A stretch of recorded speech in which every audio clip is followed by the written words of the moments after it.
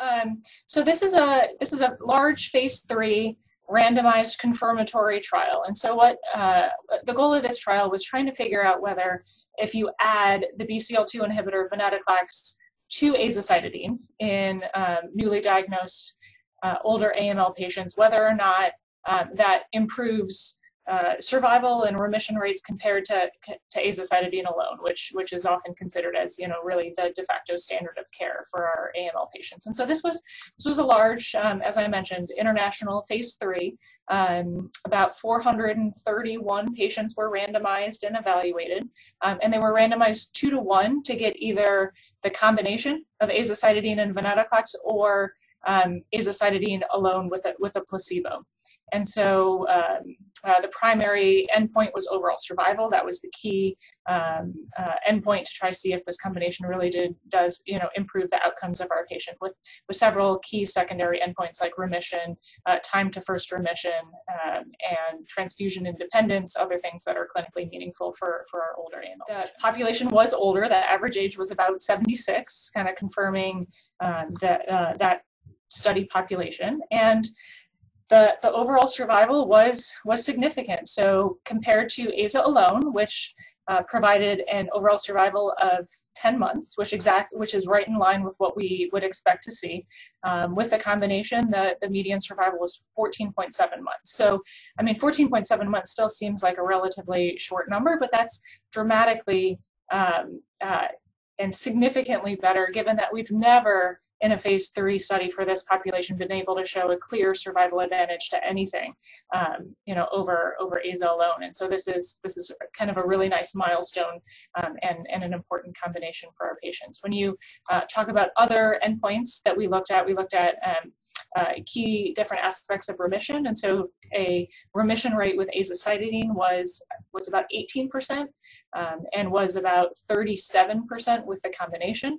Um, composite remission rates went from uh, 30% up to 66%. So, I mean, the, the remissions are, are you know, essentially doubling and, and across many different key characteristics. Um, uh, patients with complex cytogenetics, patients with high risk genomic mutations, you know, the, the responses were, were improved with the combination across the board.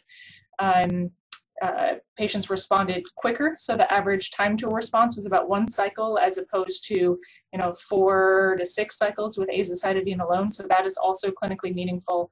Um, patients responding faster and, and having improvements in transfusion independence. Um, I will say that um, it's important also to be aware of kind of the, the, the, safety and the various different adverse events with, with new therapies. And so with the combination, we did see an increased risk of cytopenias with neutropenia uh, in particular, um, leading to an increased risk of neutropenic uh, infections. Um, and so that's just something to be aware of. When you give this combination, you have to be a little bit more mindful of, of monitoring um, counts, um, especially at the very beginning, and uh, the importance of kind of getting a, a bone marrow at the end of the first cycle to see if your patient's in a remission is really important. And that's a little bit different than, than our basic um, understanding and what we typically do. So in our older patients getting azacitidine alone, we often don't get a bone marrow until like cycle three or cycle four because it often takes that long for them to be in a remission. But with this combination, responses happen so quickly.